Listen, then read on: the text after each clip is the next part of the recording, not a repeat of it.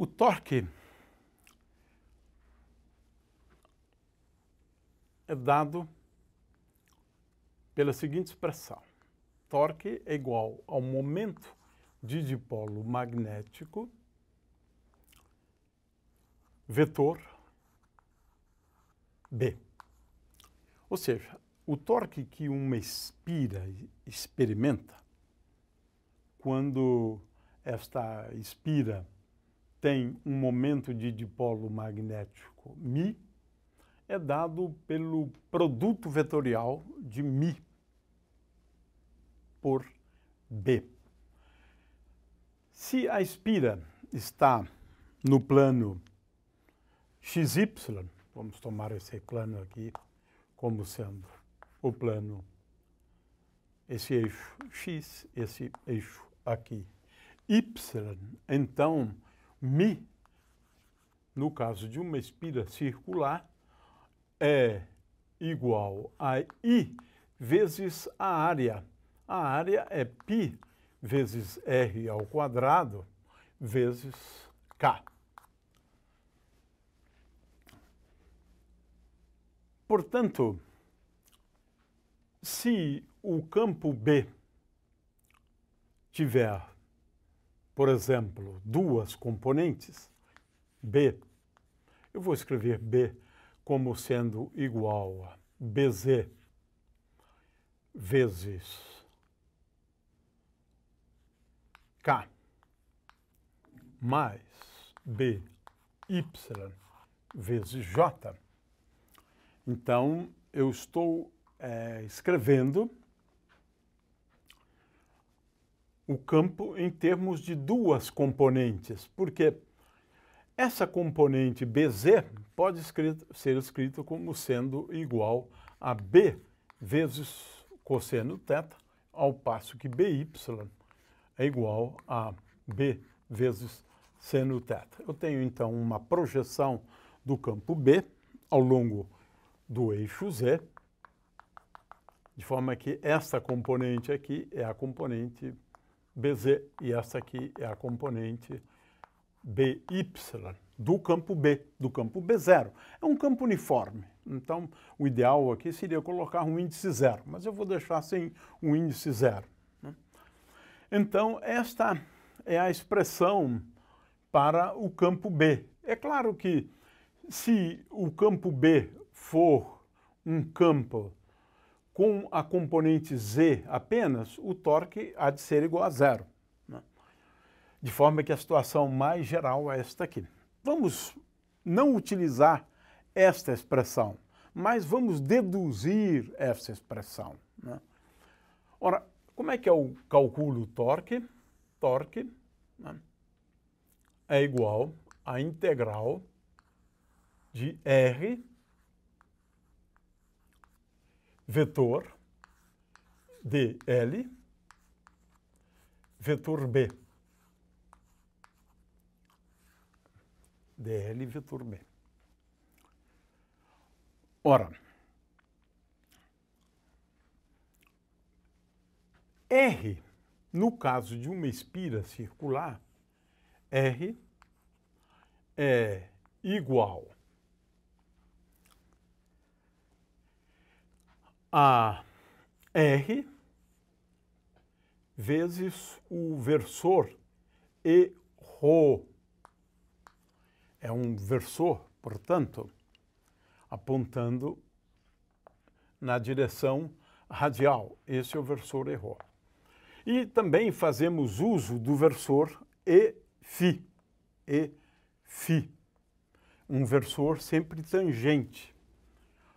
Portanto, R é igual a E índice ρ, ao passo em que dl é o elemento de comprimento, ele é igual a R vezes dφ, veja, R vezes dφ vezes E índice φ. Ora, Portanto, essa integral aqui, na verdade, eu vou integrar para valores de φ de 0 até 2π. Portanto, em princípio, tal vai ser escrito como igual a integral. Aqui eu tenho r ao quadrado, porque eu tenho r daqui, r daqui, e esse r quadrado eu posso colocar fora, vezes e índice ρ, vetor, e agora aqui eu vou colocar dl mais dl é igual a E índice φ, vetor. Aqui eu tenho o vetor B.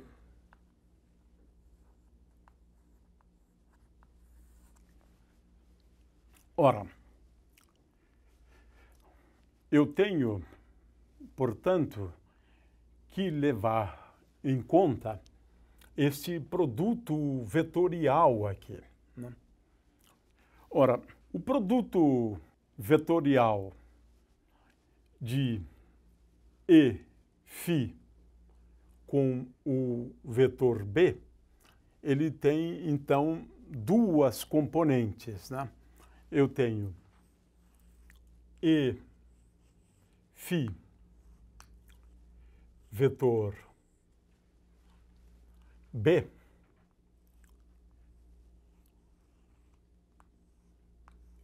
eu tenho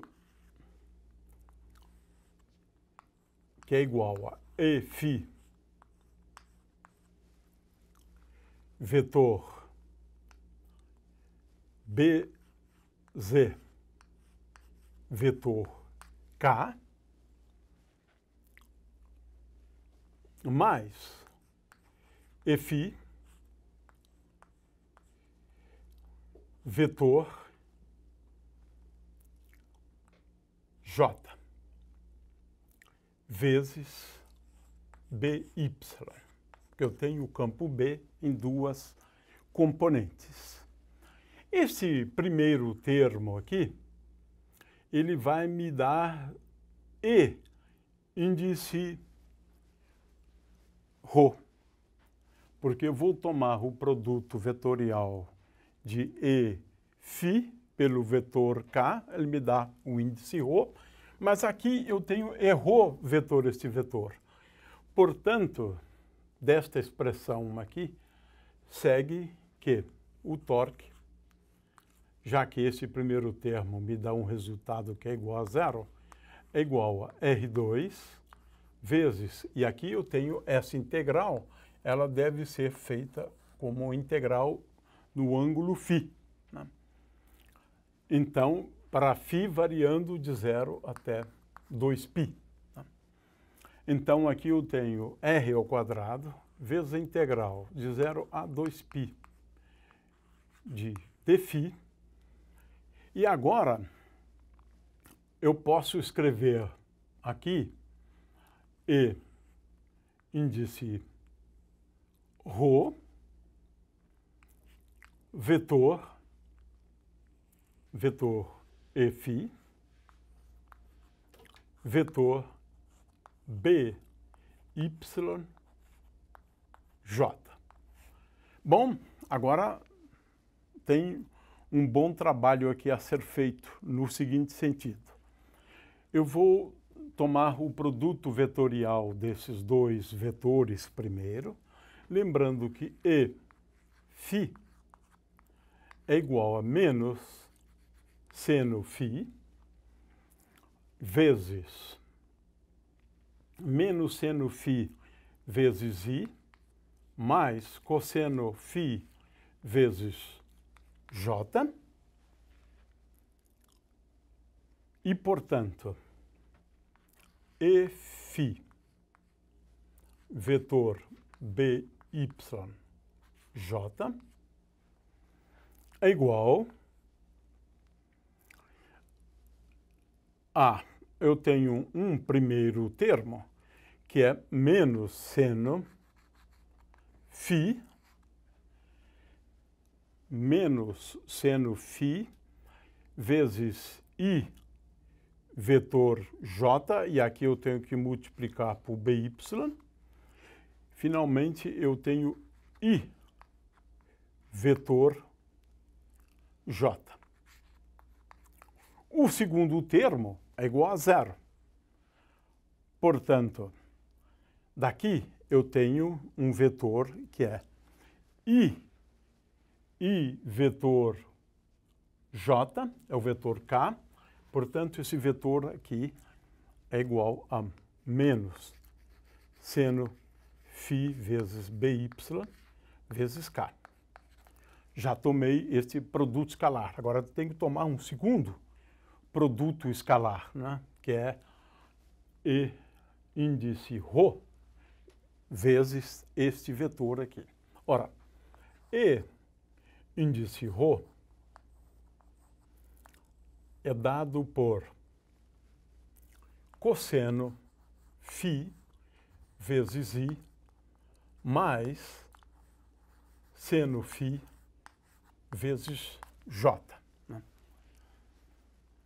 De forma que agora, em princípio, eu vou ter que tomar o produto escalar né, de E índice Rho, então E índice Rho, vetor, E índice Rho, vetor, E índice Φ, vetor B, é igual a cosseno φ i mais seno φ vezes j, vezes j. Esse aqui é o vetor E índice ρ, vetor E φ vetor B, ou seja, é vetor, agora, E φ vetor BYJ menos seno φ vezes BY vezes K. Aqui eu tenho dois termos a rigor, né? dois termos a rigor. Eu tenho um termo em cosseno φ vezes seno φ, mas na integral eu posso mostrar que seno φ vezes cosseno φ de 0 a 2π é igual a zero. Integrado em dφ. Isso é igual a zero. Portanto, este termo aqui, eu vou simplesmente desprezá-lo. Portanto, o termo que me interessa, na verdade, vai ser o termo envolvendo seno ao quadrado de φ. Aqui, então, eu tenho menos seno ao quadrado de φ, é o único termo que vai acabar sobrevivendo, vezes by, seno ao quadrado de φ vezes by, e, finalmente, j vetor k. Quem é j vetor k, j vetor k é o vetor i. Portanto, o resultado aqui que interessa é que E índice ρ, vetor, índice φ, vetor B, o, na parte que realmente interessa, que é esta aqui, é igual a menos by vezes seno ao quadrado de φ vezes seno ao quadrado de φ vezes Agora, nós vamos utilizar uma identidade, porque eu tenho que efetuar agora esta integral, né? E tenho, portanto, o seguinte: torque é igual a r ao quadrado que está aqui, menos by vezes i. E agora eu tenho um, que efetuar uma integral. E essa integral é a integral de zero até 2π de seno ao quadrado de φ de φ.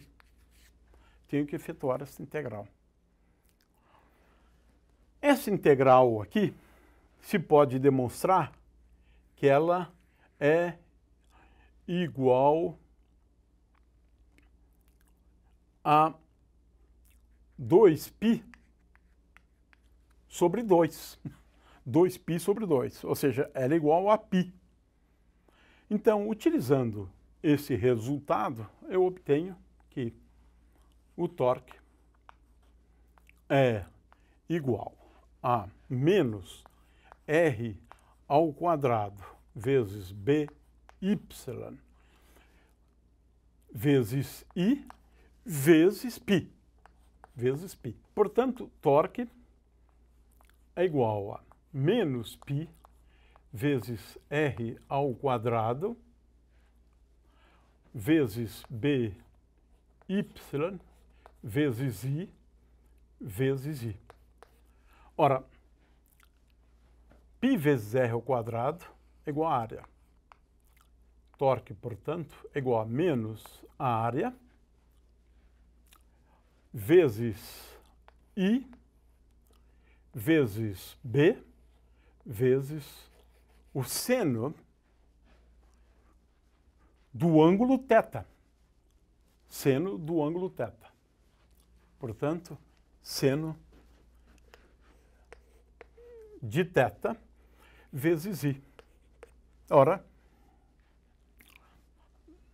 tendo em vista que mi, nesse caso, é igual a a área vezes i vetor k, é fácil agora a gente constatar que esta expressão aqui, que esta expressão aqui é equivalente à expressão torque igual a mi vetor b. Ou seja, fizemos um exercício para demonstrar a validade dessa expressão, que é uma expressão bastante geral.